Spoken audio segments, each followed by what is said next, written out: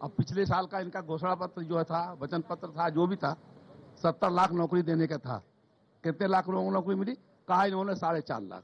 कबूल कर लिया। सत्तर लाख तो नहीं दिया ना। अब देखिए, पश्चिमी उत्तर प्रदेश में आप रहे होंगे तो अभी अभी भारतीय जनता पार्टी के प्रवक्ता कह रहे थे कि गर्मी गुंडों को निकाली जाएगी। कहीं बाइट दिखा दीजिए, हमको कहा हो, योगी आदित्यनाथ जी के गुंडों को निकाल दी जाएगी? गर्मी निकाल दी जाएगी, ये शब्द है, किसानों के लिए है। गुंडा शब्द कहीं हो तो मैं राजनीति छोड़ दूँगा। आप बाइक निकालिए, आप बाइक बाइक निकालिए आप। आप बाइक निकालिए, आप कहिए, बताइए। ये नहीं है। और देखिए, समाजवादी पार्टी समाजवादी पार्टी भी नहीं बात कर सकती है। दंगा कहाँ हुआ? मुजफ्फरनगर में दंगा हुआ। और जब दंगा हुआ तो पचास हज़ार मुसलमान और हिंदू टेंट में सो रहे थे।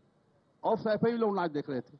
यही तो प्रधान मोदी जी ने करी। नरेंद्र मोदी ने प्रधानमंत्री ने भी तो यही बोला। अब अब एक एक जवाब दीजिए। ये बीएसपी वाले भी इस पर आपको घेरते हैं। जब जब दंगा हो रहा था तो सेवई सेफई में नाच गाना हो रहा था। जश्न मनाया जा रहा था। जी लोग मर रहे थे ठंड में मर रहे थे ठंड में ठुटर रहे थे कट रहे थे।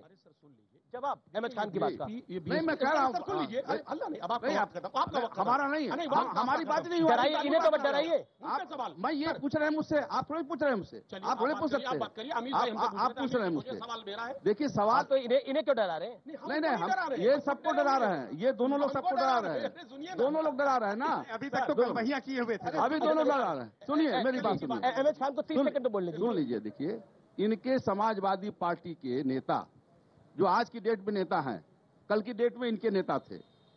अनिल सिंह। उन्होंने क्या कहा? कहा, मुसलमान घर की औरतों को, लड़कियों को जो कबर में दफन कर दी गई हैं, उनको निकाल के रेप किया जाएगा। उसके बाद इनके पार्टी में आए, इनके अध्यक्ष ने पीठ थपथपाई शाबाश बेटा, शाबाश। क्या बात तुमने कह दी? ये समाजवादी पार्टी, गुंडों की पार्टी? ये सांप्रदायिक पार्टी, ये सांप्रदायिक सांप्रदायिक बातें फैलाने वाले लोग बैठे हैं। ये गुंडों की पार्टी है ये सांप्रदायिक है? दोनों। ये सांप्रदायिक इसलिए राम मंदिर बनवाती है इसलिए राम मंदिर फिर आप गलत बोल रहे हैं। आप गलत मत बोलिए। राम मंदिर सुप्रीम कोर्ट के आदेश से बन रहा है। पाँचों जजों ने कहा था कि 142 धारा के अंतर्गत ये 142 सांप्रदायिक पार्टी क्यों है? सांप्रदायिक यही है कि देखिए सुप्रीम कोर्ट फैसला लेती है हाँ। और फैसला जब सुना देती है तो इसका श्रेय लेने की कोशिश ये करते हैं। इसलिए सांप्रदायिक है ये। अच्छा सांप्रदायिक के आप दो पॉइंट गिनाइए बीजेपी सांप्रदायिक क्यों है और ये गुंडे वाली पार्टी क्यों है? दो दो पॉइंट दो दो पॉइंट देखिए सबसे पहली बात इनसे पूछ लीजिए कि एक भी मुसलमान को टिकट दिया। मुसलमान को टिकट देने से ना देने से पार्टी सांप्रदायिक हो गई। अगला पॉइंट अगला पॉइंट अगला पॉइंट अगला बिल्कुल पॉइंट होती है। अगला पॉइंट अगला पॉइंट हिंदू मुसलमान किसने किया? बजरंग बली अली किसने कहा? बजरंग बली जो है आदिवासी थे और दलित थे किसने कहा? ये इस चुनाव में तो नहीं कहा। इस चुनाव में तो नहीं कहा। इस चुनाव में नहीं कहा? किस चुनाव में कहीं नहीं कहा? क्यों नहीं बा, बात मानेंगे आप? किसी की आप पुरानी बातें इनकी उठाएँगे इनकी उठाएँगे मेरी उठाएँगे। उनकी नहीं उठाएँगे आप। उनकी भी उठाएँगे। अभी अभी उन्होंने कहा।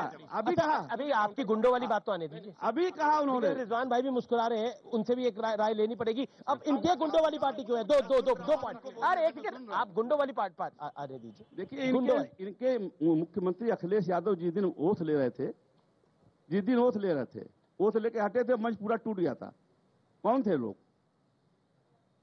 कौन थे लोग? पूछ तो रहा हूँ गए थे नहीं आप आप थे। नहीं, आप थे। अगर आप थे तो आप भी गुंडे। आपकी पार्टी गुंडी तो आप भी गुंडे हो गए। सवाल इस बात का है पूरे थाने घेर दिए जाते थे। समाजवादी पार्टी सरकार में थाने थाने में कोई आदमी घुस नहीं सकता था। कौन गुंडे बैठे थे। गुंडे बैठते थे समाजवादी पार्टी के।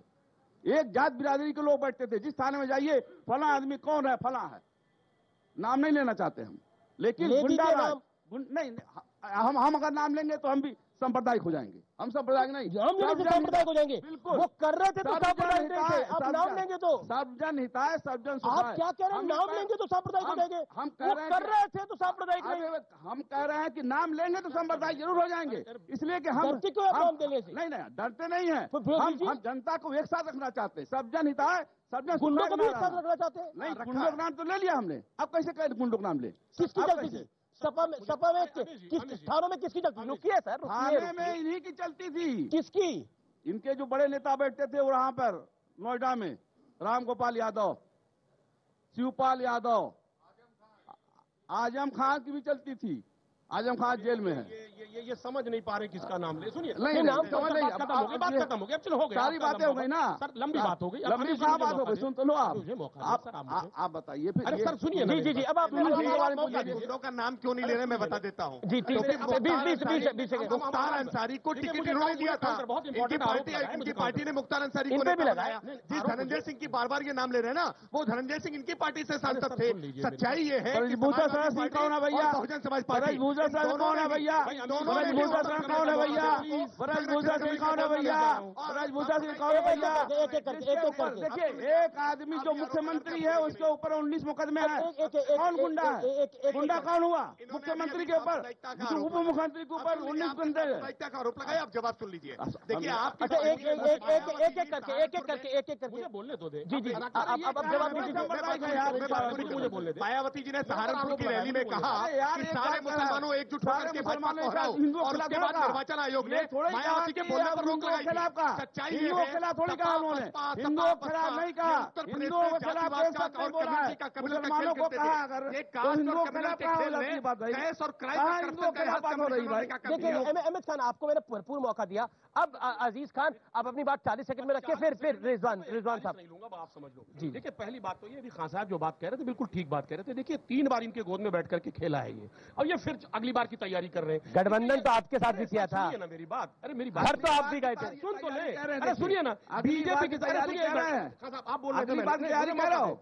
तो इसका मतलब तुम साफ़ हो। नहीं, ये तरीका नहीं इसका मतलब तुम साफ़ हो। प्लीज़ अगर तुम कह रहे हो अगली बार की तैयारी रहे हो तो तुम साफ़ हो सुनिए ना। मेरी बात अरे सुनिए ना। अरे भाई सुनिए ना। हाँ, नहीं, नहीं, तीन बार इनके गोद में बैठ के खेले हो बीजेपी के। आज आपकी बात खेलेंगे तो आप साफ़ हो ना। सुनिए ना। आप साफ़। अरे भाई आप अरे सुनिए ना। अरे चलिए आप तो रहो। देखिए इसीलिए बहन जी निकल नहीं रही है घर में बैठी है लोग इंतज़ार कर रहे हैं। और रही बात सांप्रदायिक सांप्रदायिकता का तो आज जो स्थितियाँ पैदा हैं पूरे प्रदेश में इनके साथ ये मिल करके सांप्रदायिकता पैदा कर रहे हैं। ये कहीं ना कहीं पैदा कर रहे हैं। और दूसरी बात एक बात बता दूँ आज बीजेपी बहुत घबराई हुई है। उसके उसके पैर के नीचे से ज़मीन खिसक गई। कैसे कैसे? आप बताइए एक भी विकास की बात हो रही है? पाँच साल के कार्यकाल उपलब्धियों पे बात हो रही है? एक भी विकास पे किताब बात लाए विकास के ऊपर। कोई कुछ नहीं सर झूठा संकल्प पत्र है। झूठा पत्र है ये। ये सब झूठा पत्र है। आपका वचन पत्र आप काम किया आपका वचन पत्र बिल्कुल सही है आप कह रहे हैं। किया है उस पर काम। हमने उस पे काम किया है। और इन्होंने काम नहीं अगर ये काम करते तो पाँच साल की उपलब्धियों को लेकर जाते। ठीक है रिजवान भाई देखिए बरसात अब ये नहीं हो करते कार्यक्रम को बाईस चौबीस मिनट हो गए कार्यक्रम को आप बड़ी देर बाद आ रहे हैं। नहीं कोई कोई नहीं कोई सुन रहा था हाँ बिल्कुल देखिए आज बात करनी ज़रूरी है बीजेपी सांप्रदायिक है ये आरोप कॉमन है। ये इतना कॉमन आरोप है कि आप पान की दुकान या चाय की दुकान पे भी खड़े हो जाओगे तो जो जो बीजेपी को पसंद नहीं करता वो एक ही बात बोलेगा देखिए बड़े कॉमनल है। And I still remember Atal Bihari Vajpayee Atal Bihari Vajpayee ने एक लोकसभा में स्पीच दी थी, जब उनका 11 महीने का कार्यकाल उनकी सरकार गई थी, जयललिता, के वो एक वोट से हार गए थे तो उन्होंने बोला था कि हम पे आरोप लगता है कि सांप्रदायिक है और वाजपेयी बहुत अच्छा है। तो इस अच्छे वाजपेयी का आप क्या कर रहे हैं? तो भारतीय जनता पार्टी पर कॉमनल होने का आरोप आज से लग रहा, ये शायद जब से बीजेपी के एग्जिस्टेंस है तब से लग रहा है।